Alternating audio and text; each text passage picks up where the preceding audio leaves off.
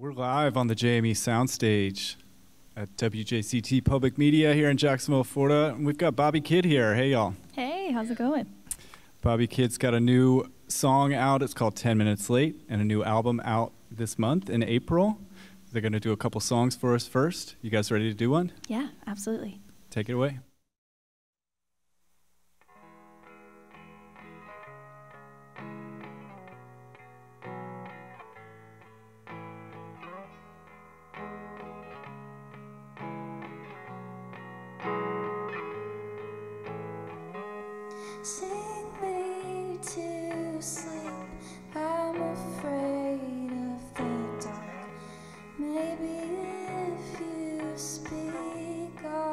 Just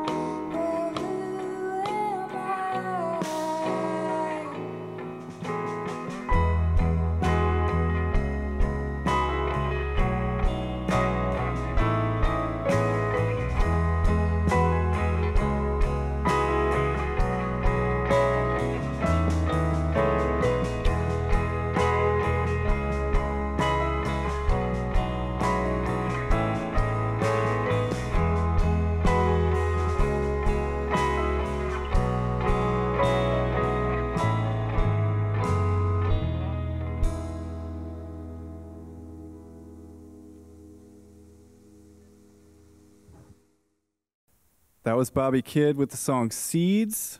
Now, the new album drops April 7th. Uh, it's called Babyface. Uh, this is the first full length since 2018's uh, Peach. Mm-hmm. And I know there's been a handful of singles in between now and then. Um, but as you started putting together the pieces of this album, when did you know you had uh, songs that would be okay? We've got an album here. Um, these are the songs that are going to go on this new record. Yeah, it's kind of completely on accident, just being like super DIY. Uh, it's kind of a um, more of a process of like, okay, when we can record these songs, we'll record them. They've been written for like mostly for four years. Um, some of them are a little bit newer, but we've been playing them for a really long time. Um, and we recorded a couple of them pretty early on. Um, and the idea was to record a full length album at some point because we knew we had enough songs. Um, and it just kind of, with life, with the pandemic, um, with all of us working full time, just kind of kept getting pushed back. Um, and then in 20, was maybe 2020 or 2021 was when we were at Friends of Friends, and uh, it was in Springfield at the time with Brock Mendez. Uh, Mende? Yeah.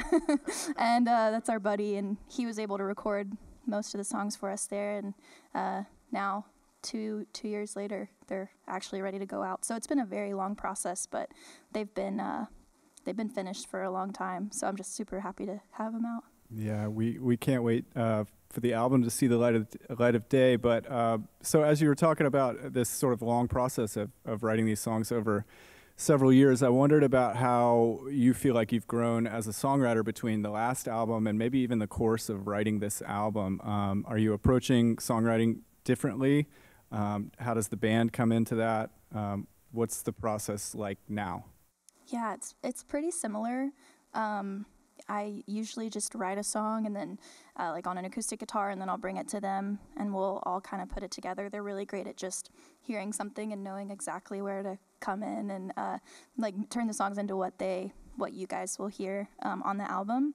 Um, it's definitely it's interesting writing songs and then releasing them four years later because I do feel like my songwriting has changed a lot and um, my perspective has changed a lot, but I have to kind of, you know, remind myself of the perspective I had when I wrote when I wrote the songs and still appreciate them for the, you know, where I was at when I wrote the songs. And uh, but my songwriting process is still pretty pretty similar. Um, I write it, I bring it to them, and uh, we turn it into a like a full band, full There band song. Yeah. Yeah. Um, well, Bobby Kid's new record, Baby Face, is available on all streaming platforms beginning April 7th. Um, you can hear songs from the new record on the independent 89.9 HD4, streaming here in Jacksonville, Florida, and on jaxmusic.org. Thank you all so much for being here. Would you you. please do another song for us? We would love to. Thank you for having us.